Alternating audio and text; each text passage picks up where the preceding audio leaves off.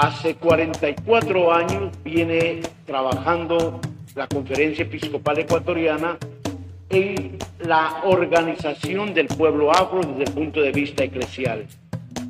Y hace 32 años nos venimos reuniendo cada año para fortalecer la identidad y el caminar juntos, respetando siempre la idiosincrasia de cada pueblo.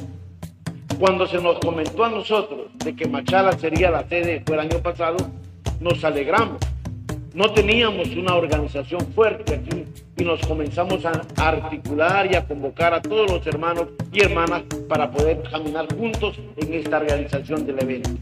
No ha sido fácil, sin embargo, hemos tenido la, el tesón, el esfuerzo, el ímpetu de ser permanentemente coherentes en el trabajo que ha vinculado toda la iglesia, desde su pastor, Monseñor Vicente, los grupos apostólicos, todos se han sumado para ayudar y a colaborar a este evento. Entonces, para nosotros, esos 44 años de la pastoral afroecuatoriana nos hace permanentemente crear ese vínculo de amor, de testimonio y de compromiso.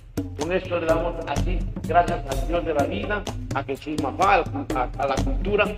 Bienvenidos a este gran evento cultural de fe y de esperanza.